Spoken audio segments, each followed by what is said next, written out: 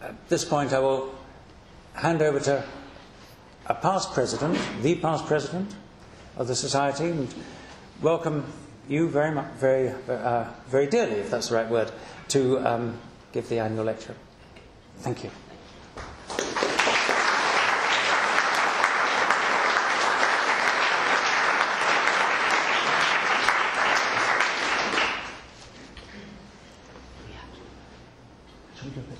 Yes. Yeah.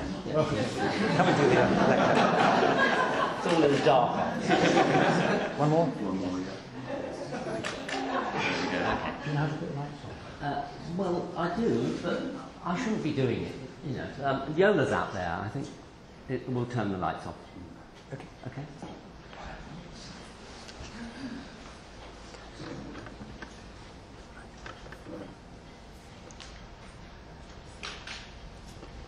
Okay, let's get my tape.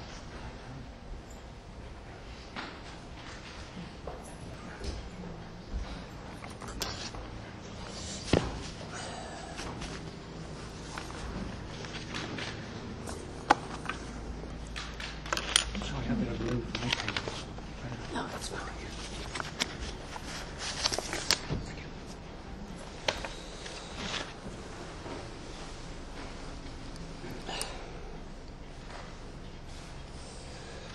Thank you, everyone, for coming tonight um, and joining me in this journey through some of the monastic history of Europe, or rather the post monastic history. Um, I have many general um, votes of thanks to give to all the scholars who've supported uh, my work over the years in um, Tudor and later architecture, and especially a group of European colleagues with whom I travelled annually um, all over Europe looking at buildings and who have inspired me to think my way through um, this uh, question this evening. And one of them, um, my British colleague on many of these tours, Professor Deborah Howard, is here tonight. I also have very specific thanks to um, Anke Neusserbauer and Thomas Lang of the city of Halle, who have been very helpful to me in bibliography and of all sorts of information about the buildings about which I will speak. Um, this talk is about the disposal of the buildings and properties of monastic houses in Reformation Europe. It will look at the extent to which the dissolution in England and Wales is atypical, both in its enforcement and its impact on 16th century building more generally. I'm going to start with this image, which is serendipitous in a way, because at the moment, um, Holbein's Lady with a Squirrel and a Starling is on loan to our City Museum in Brighton. And it falls to me to give one of a series of lectures on that later this week. Um, but also, I had to help with pulling together relevant images around the picture. And of course, Brighton, like many city museums now, are very strapped for cash. They couldn't have loans. And in the stores is this Cranach workshop portrait on the right um, of Frederick the Wise. So he's on show in the room with the lady with the squirrel.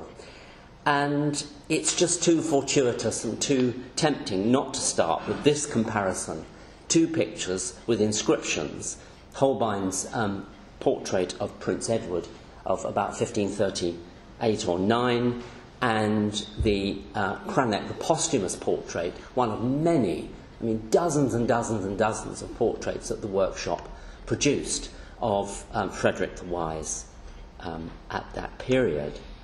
And of course, the inscription under the um, Holbein of Prince Edward is very much in the Tudor dynastic manner. Little one, emulate your father and be heir of his virtue. The world contains nothing greater. Heaven and earth could scarcely produce a son whose glory would surpass that of such a father. Only equal the deeds of your parent, and men can ask no more. Should you surpass him, you, you, you will have outstripped all the kings of the world, and none will surpass you. A highly dynastic Tudor um, message there. Underneath um, Frederick the Wise, it says, and this follows the portraits made in his lifetime I am justly called Frederick, for I maintained a blessed peace in my land. and with great wisdom, patience, and luck, despite the plotting of a number of scoundrels, I graced my lands with new buildings and founded a new university in Wittenberg in Saxony, which became famous throughout the world, and from it the word of God came forth and wrought great change in many places. Now, it would be unfair not to mention at this point, of course, that Henry VIII was a founder of places of education. The refoundation of university colleges at both Cambridge and Oxford, and of course, a school, um, Westminster, that we um, saw in our study trip um, in September. And I just put up a detail of the Norden map. Of course, it's, it's here just south of the um, uh, cloister area. Um, so, certainly, religious um, uh, institutions turned into new foundations for education. There has been much discussion, though, more generally, as to whether the dissolution in England and Wales had any kind of forward programme other than the realisation of funds for the state, which of course was then poured into the coastal forts and later the wars of the 1540s, and the emphatic riddance to any political adherence to Rome following the uh, Act of Supremacy, which declared Henry VIII as head of the Church. The Acts of 1536 and 1539 followed by swift closure of the monasteries as establishments, uh, and then a complex use of the buildings, a complex story of their use over a long period of time, then happened. Once lead had been stripped from the roofs and valuables taken, the chief source of income, of course, to the Crown was land and land sales, not the relatively low return from the sale of buildings. And it has always interested me that one of the ways, however, that the government did perceive some kind of need for controlling this process was what happens and is stated in the preamble to the 1536 Act, because owners of these lands are obliged, and I quote, to keep or cause to be kept an honest, continual house and household in the same site or precinct, and to occupy yearly as much of the said domain in ploughing and tillage of husbandry. So there was some awareness that the um, that the continuity was necessary between past and present. And that's certainly one of the themes that will emerge in the things I'm going to say tonight. What happens, of course, happens in stages. That first phase of very rapid transformations of sites, largely by leading courtiers who got in quickly and changed these monastic sites into country houses or realised their value if they were in urban environments. And particularly in the disposal of the urban properties, um, some of which, um, by virtue of local pleading, as in the case of the Greyfriars, Reading, where the town council wrote to the king pleading for part of the Greyfriars uh, to form a new town hall, some of these monasteries in urban environments were turned into warehouses, tenements, town halls. And here we are at the Charterhouse in London, still wonderfully a survival and wonderfully covered um, by, um, by the Survey of London, which became part courtier residence, part lodgings for royal courtiers. The uh, family of Bassano, court musicians, were lodged there for many years. And of course, most significantly from the early 1540s till about 1545 or 6, it housed the office of royal tents before a more permanent office was set up uh, for that department of state um, at Blackfriars. After this early phase, there was then a second phase of something of a rethink. Um, and I at one stage did some work on the monastery of Sopwell in Hertfordshire, where the second generation of owners, in, a, in essence, restored the former cloister, rebuilt the, the, the former cloister, realizing that cloisters were a usual means of passage around the internal courtyards of houses.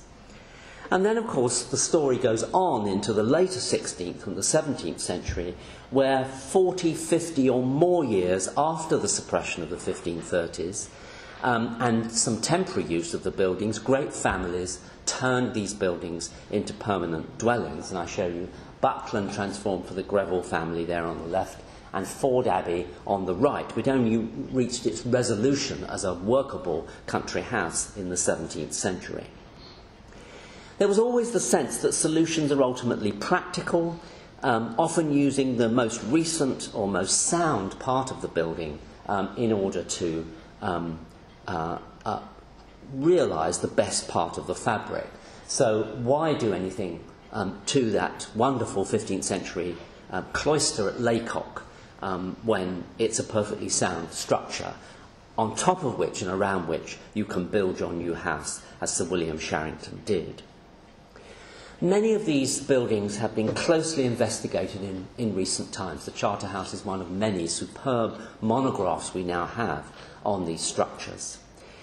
They show how these buildings profoundly influence aspects of planning, of circulation, of, improv- of the improvisation of materials. Um, they're, they're not generally, uh, this process does not generally happen by any new aspects of startling architectural style or innovation when it comes to appearance. It's very much in the formation of houses, town halls, public buildings that their influence happened. Occasionally, there may have been an architectural statement, and recently, at the launch of Pevsner Hampshire um, South, the revised Pam- uh, Pevsner volume, discussions with Bruce Bailey about whether Sir Thomas Wriothesley, the new owner of Beaulieu, um, put that new vaulted space into the Great Gatehouse as part of his new house there, very much as a public statement, using the masons who had recently been working on vaulting at Winchester Cathedral. One of the things that has always been, I think, in our minds is that there's as much an argument for the continuous use and purpose of these buildings as there is for the very obvious destruction which takes place. And Thomas Wriothesley here is a case in point because he'd been the lay steward of this monastery before the dissolution. He certainly had lodged there in the hospitium, in the guest apartments, several times. And so there was, to the people working there, some continuity of use, both before and after the Reformation took place. And then, of course, there's interestingly the royal use of uh, buildings. Um, and most notably, um, the reuse of materials uh, to, to, build Nonsuch Palace. Henry VIII uh, used um, uh, um, denuded monastic stone. Um, and then, of course, in taking over the houses of St Augustine's Canterbury and Dartford Priory, prime places to make staging posts on the progress into London starting with the coming of Anne of Cleves in the winter of 1539 to 40. Interesting, both these sites, because um, the roofs were still in place in each case, and it's not so much um, using the pre existing buildings which went on here, but the building of temporary lodgings in wood. Here we are at St Augustine's, Canterbury, and it's this lodging here which was rapidly put up in two months. Brick base brick and stone base, wooden lodgings above, um, in two months by James Needham, the King's carpenter, for the reception of Anne of Cleves for just two nights um, in that winter. And here we have the Priory of, of, of Dartford, um, equally still roofed at the time the King was using it. Many of these monastic sites owned by Henry VIII were sold on. Uh, they were part of a, a wider expediency around the manipulation of church property during this period, the moving of bishops out of palaces in London and elsewhere, uh, and Otford in particular, in order to make other royal sites or to sell on their lands. When we turn to Europe by comparison, we find there are very different times of dissolution, different patterns of enforcement. There's it seems to me very much a divide between the suddenness and brutality of the English template, where in some cases rulers are secure, dynastic, and act occasionally very brutally towards the monastic legacy, and other rulers who implement uh, a reform following the coming of Lutheranism to their dominions, but do it by discretion and over a much longer period of time. In the northern Netherlands, the suppression of the monasteries largely happened during the period of the Dutch revolt of the 1560s, so some decades after the first arrival of Lutheranism, Lutheranism in modern day Holland. And it was really a matter of expediency, which meant that William of Orange moved his centre of power to Delft from The Hague in about 1572. And um, he moved there to Delft because it was a place very well defended by a ring of canals, it had high walls, and he moved into the formerly wealthy convent of St. Agatha, a Franciscan house, um, at this time.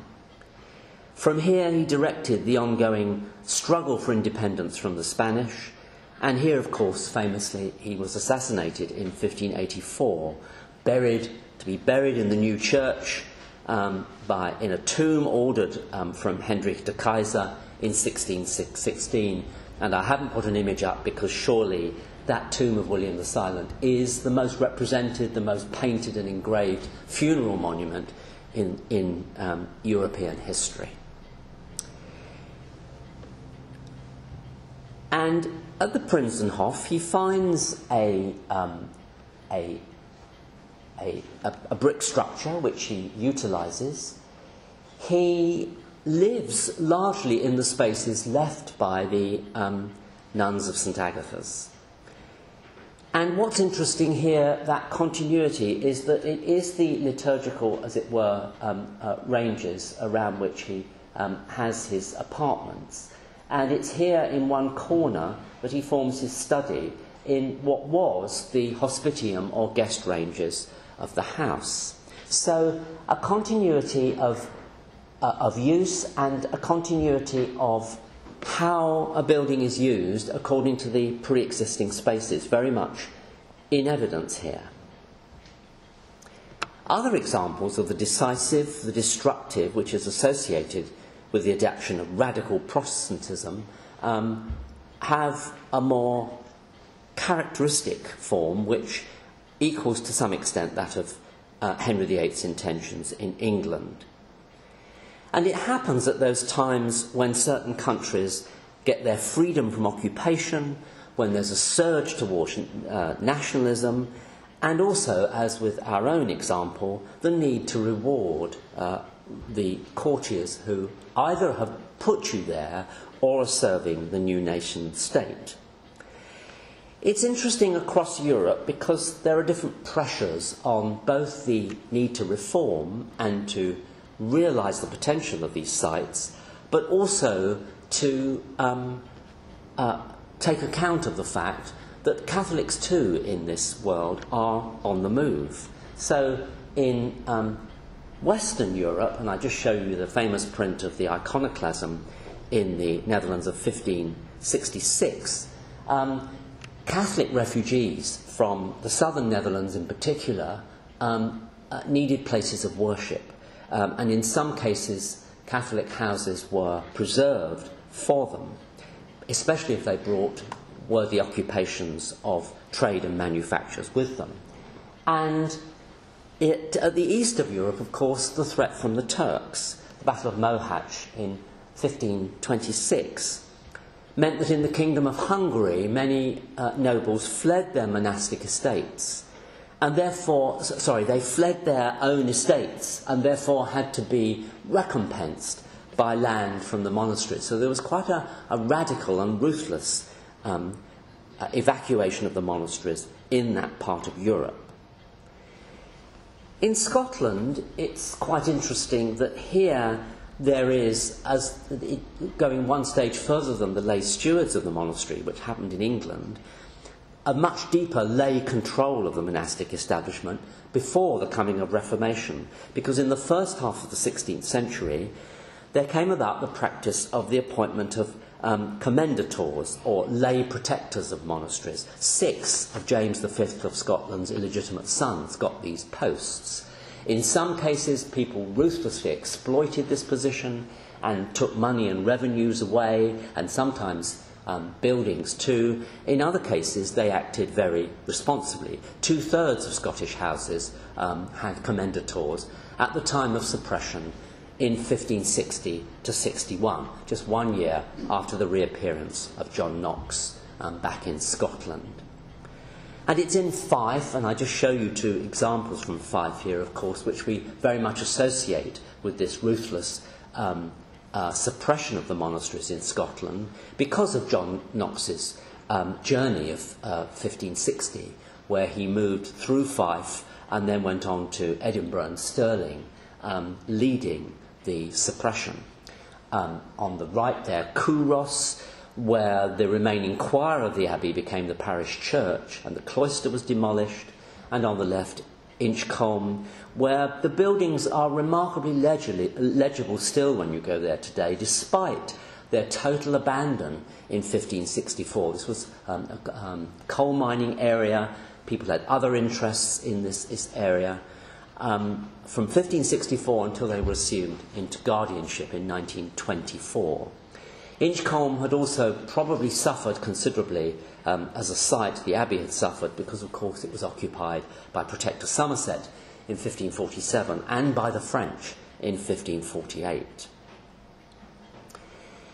In Denmark, an interesting scenario uh, suppressions after 1536 when Christian II becomes king, but it's the first of our examples where, though the monasteries were suppressed, inmates were often allowed to stay in place until the last of them died. And this happens in quite a few of the examples which I'm going to focus on um, today.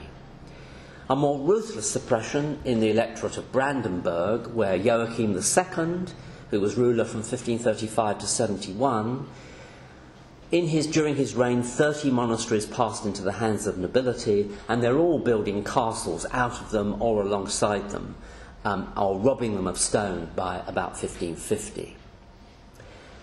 One particularly interesting case is Sweden. Uh, in, it's in 1523 that Gustavus Vasa receives independence um, for the Swedish state and from the Kingdom of Denmark. And it's from 1527 onwards that monasteries begin to be suppressed. But there was never in Sweden any specific legislation about suppression. Lay administration was put in, desertion was encouraged, and it was only in the very early years of the 17th century that Charles IX um, finally closed Vadstena, the last surviving uh, monastic site. So, religious orders being allowed to stay on in their properties for a considerable amount of, of time.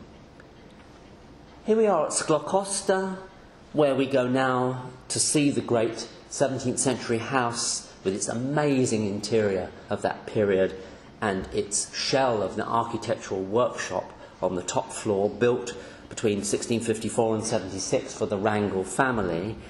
But when you turn away from that building, of course, you also come across the remains of the Cistercian Abbey of Skå, uh, whose land this originally was. And even though the family of Wrangel were in possession of this monastery um, by the early 17th century, throughout the earlier 16th century, some nuns remained and ran a school um, in, uh, uh, in the surviving parts of the, um, of the nunnery around this church. Two further abbesses were even appointed in the 1530s and the 1550s. The school was run for daughters of the nobility, and the last allowance was paid for them to do this in 1588.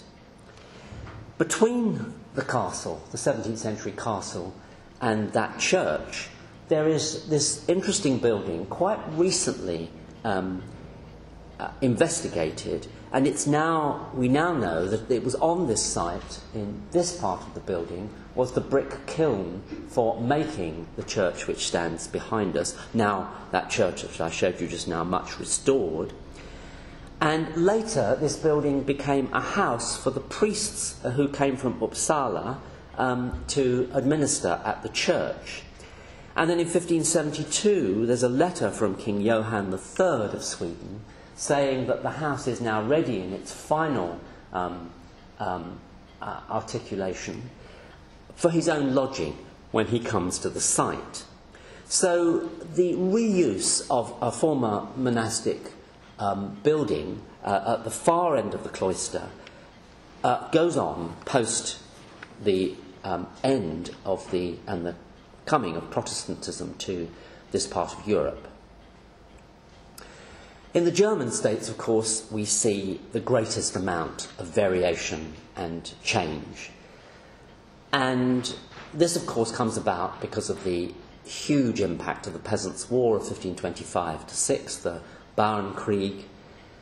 And what Germany exhibits more than anywhere else is the fact that, that when I talked about that business of there being a continuity across the actual point when the Reformation comes or Lutheranism comes, is that it is the major place where both before the 1520s and long after, monasteries survive but with ever fewer inmates. Uh, and this goes on across the German speaking lands. One of the things one notes about England and Wales, of course, is that when suppression comes in 1536 and 1539, it's really indiscriminate as to order or the length of time since foundation. All the, all the houses get dissolved um, in two foul swoops, the under £200 income and over in the later Act of Parliament. In Germany, there are very different attitudes amongst rulers, amongst town councils, amongst the populace generally, towards um, the monastic orders. So there's often a critical and sometimes even vindictive attitude towards the mendicant orders because they come more recently, they were felt to be more um, handsomely endowed, they carried certain privileges, um, up to the point where there were assaults, for example, on the Franciscans at Hertogenbosch in 1525 Whereas the established orders, the Dominicans, the, um, sorry, the um, Cistercians, um, the, the, Benedictines, were uh, much more tolerated within these places, even though, of course, it's amongst the um, uh, mendicant orders, Franciscans in particular, that Protestant, Protestantism found its greatest um, strength and support. Once suppression came, the monks fled or quickly left. So the Austin friars in Wittenberg, 30 monks in 1521, six by 1522, and soon only three, but that included Luther himself, who had started all this. And what's very interesting is that whereas the male establishments, um, the monks took the money and ran, the female establishments tended to resist and even when suppressed, were often allowed to stay until the last female occupant had died. Now, of course, the social historians have speculated profoundly about this, suggesting things about the class structure that because more female um, uh, inhabitants of, of, the orders were uh, from an upper class, these were women who had less of a chance of going back into the community and finding employment or finding the right marriage given their age, um, those fewer opportunities may have meant that women um, resisted more than the, their male counterparts did, but also because, um, as happened um, at um, Skokloster and the um, Abbey of Sko, which I talked about just now, they tended to be much more active in the running and foundation of schools and hospitals and really had more investment and therefore more persuasive opportunities to keep themselves in place. At the Cistercian uh, convent of Harvestehude on the outskirts of Hamburg, the nuns moved out of the property but insisted they retained ownership uh, of the site and that it became a house for poor women and a Lutheran women's college. At the Poor Clares of St. Catherine's in Nuremberg, under its Abbess Charitas Pirkheimer, she's the sister of Dürer's correspondent Willibald, um, there was tremendous resistance to any Protestant preachers going in, and Charitas Pirkheimer died on site at the Poor Clares in Nuremberg as late as 1596. There were many proactive cities um, and rulers who um, put money into the endowments of schools in the wake of monasteries. And of course, what also could happen was that what we find, which obviously is just unknown in the, the English and Welsh environment, that within these great Lutheran towns and cities in Germany, there may have been or was a bastion of, of Catholicism, a church that survived. And in one case, which I'll come back to in a moment, the, um, the, um, uh, the survival of a, really an enclave, a whole area of town, which belonged to a wealthy Catholic patron. I'm going to take you on a journey here through Thuringia and um, uh, Saxon-Anhalt, uh, covering the towns through here and up. This area is to the north uh, west of this, so we're on a journey here through um, uh, Erfurt, uh, Wittenberg, uh, Schmalkalden, um, and um, uh, one or two other sites.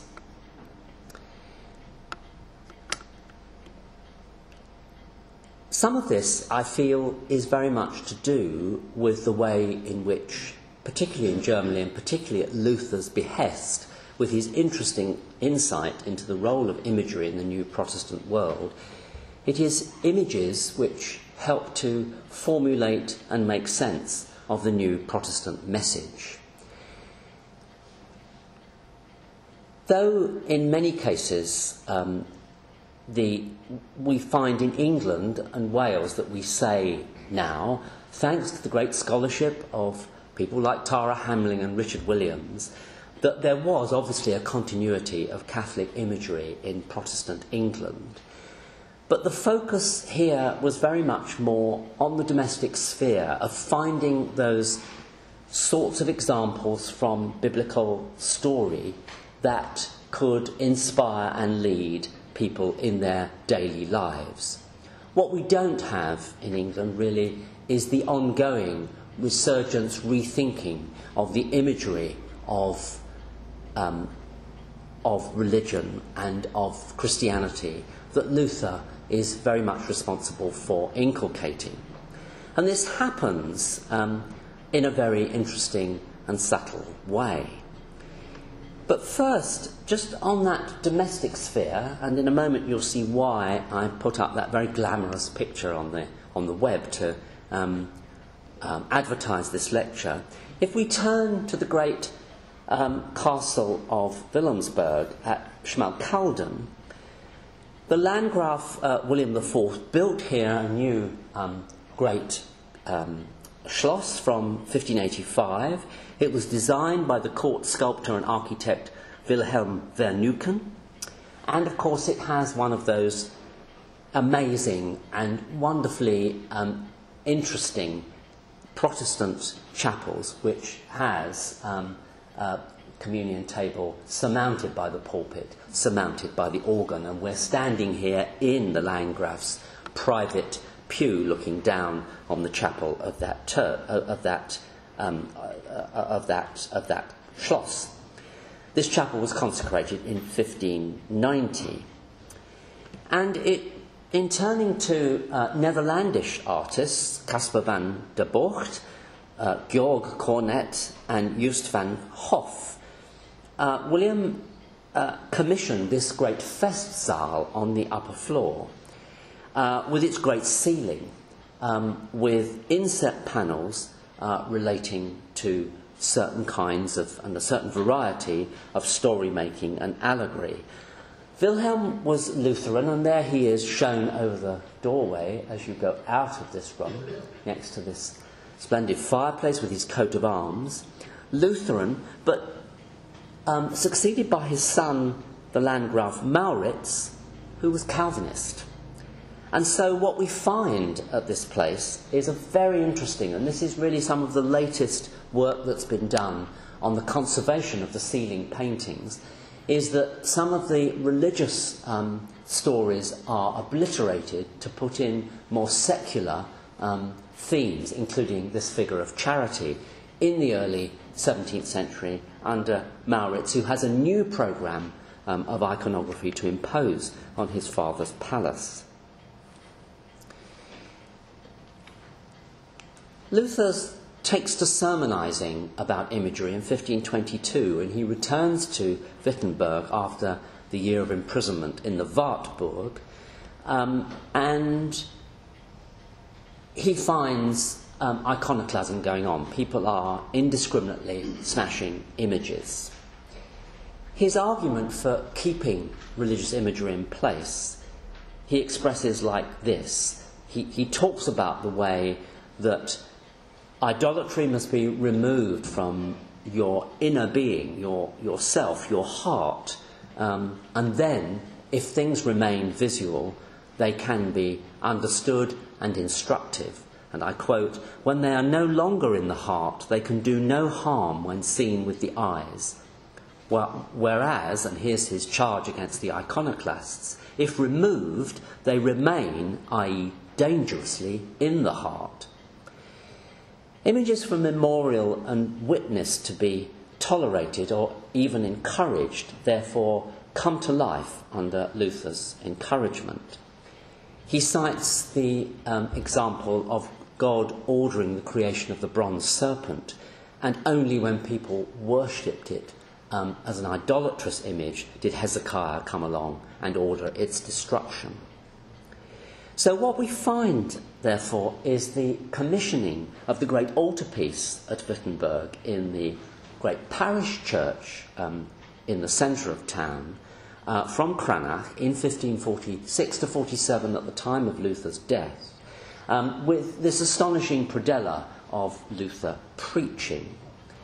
This is the Marienkirche, and um, I'm very much um, moved here by the descriptions of it um, in Joseph Koerner's book um, on the subject of, ref- of Reformed art. And what's very interesting in this church, um, you go in, it had a great 19th century uh, refit, as you can see there, um, but the outline of the church is the same, is that when we look up to the Cranach um, altarpiece, what is happening here, and it still goes on in the con- with the congregation today, is you go up and you um, take the um, bread on this side, you process around the back of the altar and then you take the wine um, as the figure is here um, as you come from behind the altar. So the altar by Cranach actually realizes the new sense of the Protestant um, uh, communion, one of the um, two sacraments, of course, that, along with baptism, that Luther argued to keep in place something about redesigning, reconfiguring the actual shape of the church around Protestant ritual is there in the very imagery which explains what is going on.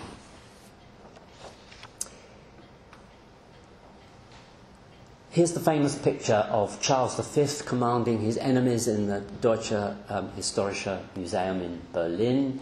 Um, on, to his right, we have there um, the uh, Suleiman the Magnificent Pope Clement and Francis I of France, and um, on his right, three of the electors who deposed him, ending here in Philip of Hesse. Philip of Hesse is a great champion of Protestantism. He has a, an almost soul conversion in 1524 when he meets Melanchthon. In 1527, he deliberately supports suppressions of monasteries for the foundation of his new university of Marburg and four hospitals in that region too. What's very interesting is that Marburg is one of six new foundations of universities in quite a small area of Germany during the 16th century. This is one third of the total new foundations of universities in Europe, in, in, in, across Europe at this time. There are only 18 of them between 1500 and 1620. So Marburg is very much leading the way, and it's monastic suppressions that pay for that at the hands um, of the local Landgraf uh, Philip of Hesse. Quite close to the um, city of um, uh, Naumburg is the extraordinary site of Schulpforta. Um, Schulpforta had um, a miraculous image. Um, much of its history reminded me, when I got reading about this, of the pre Reformation history of Boxley in Kent, the particular power of a certain image. In England, it goes completely. At Schulpforta, the image remains even after the Reformation. But what's also interesting here is that uh, this was a Cistercian foundation um, uh, which uh, became a school after the suppression of 1543. And still, um, when the Furstenhaus was built in 1573, it's built in exactly the same position as where conventionally at Cistercian houses the, the guest house or abbot's lodgings would have been built when they were separate structures. So a continuity of building type even in the age of secularism. Um, at Erfurt, the Dominican church, the Prediger, um, or preaching church, was suppressed as a uh, Dominican uh, establishment as early as 1522. But what's very interesting here, and again, this sensitivity to the legacy of the monasteries in the local and national um, uh, history, is that the town authorities didn't destroy the um, uh, uh, documents of this establishment, but they made sure they were moved to the archive of the town hall, and it's in the, in the local state archives that they still survive. The monastic community remained in part of the um, Dominican buildings here, most notably in the long east wing, uh, which um, became part school, um, part um, uh, gathering place for the remaining uh, monks of this establishment, and uh, they stayed here until 1588. And what's interesting, just looking at this um, pre 1850 print um, is that clearly, for the different functions of this surviving east wing of the cloister area, an entrance was made and a staircase built to facilitate the use of this active east wing, and there it is inside um, today, still with its original vaulting. In Halle, we have this bastion of Catholicism a, a city which became very much given over to the new Lutheran creed. And this is because um, Cardinal Albrecht of Brandenburg, Elector of Mainz, and the Archbishop of Magdeburg, um, this was his domain in the city. He reshapes the exterior of the Dominican church um, with these uh, extraordinary new um, cappings. People have looked at the um, Dürer's um, 1506 engraving of the house in the antique manner and other Italian sources for this.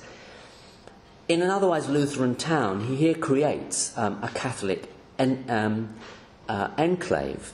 And south of the old um, uh, monastic establishment, he builds um, a new uh, um, a new palace.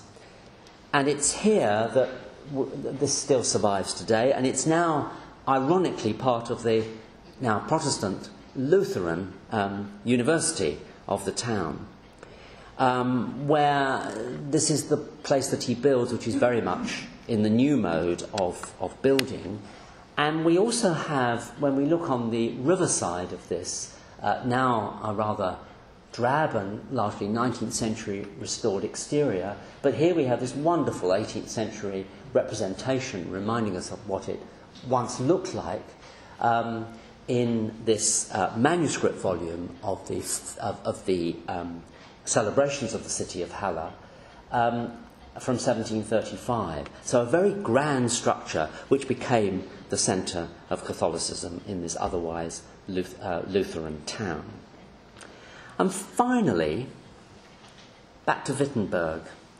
The castle church um, Frederick the Wise, great collector of relics, persuaded by Luther to take the relics out of their containers um, and store them, not destroy them, but store them, but take them off show in the early 1520s.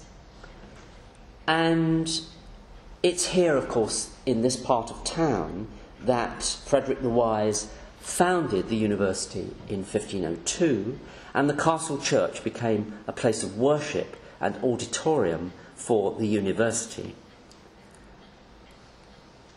And what we equally find here is that this is a, a, a, a city which honours the great man himself, uh, Frederick the Wise, in the, um, the castle chapel is memorialised by his tomb uh, slab by Peter Vischer the Younger, there on the left, made after his death in 1526. But also, it's clearly, he's clearly the model for this kneeling Christian knight standing nearby. And what's particularly fascinating to all of us who think about the materiality of the 16th century across northern Europe is this is limestone, and we have the accounts from the Cranach workshop for painting it um, in the early 1520s. Downtown in, um, in Wittenberg, we come to the great church, which has been the centre of Lutheranism ever since the Reformation, the Marienkirche. And what's interesting here is the way in which uh, we see the coming of new churches, the dispersal of the monastic remains into new pathways through cities and towns, um, uh, through the town authorities. So it was to the south of this church that the cemetery was cleared in the 1520s and the graves moved to the outskirts of town. So what we still have surviving uh, south of the church is the uh, original cemetery chapel which um, became a warehouse. It was used rather indiscriminately over a long period of time until the mid 19th century it was restored once again as a chapel. The same thing of the dispersal of graveyards happened um, at Halle, where in the 1550s Nickel Hoffmann built the new Campo Santo, very grand uh, cemetery on the outskirts of town. Uh, when the um, ecclesiastical authorities uh, authorised the removal of uh, the graves from around the two big churches in the centre of town at the time when the new uh, market church was being constructed. And I end with this, moved um, by the words of um, uh, in Elizabeth de Bievre's book, recent book on um, Dutch urban art and culture, to bring this before us. Um, in all our citizen towns across Europe where the monasteries have gone, we have ways, we have roads, we have avenues named after and which recall that tremendously interesting legacy. Sometimes uh, not just ways, but also inscriptions.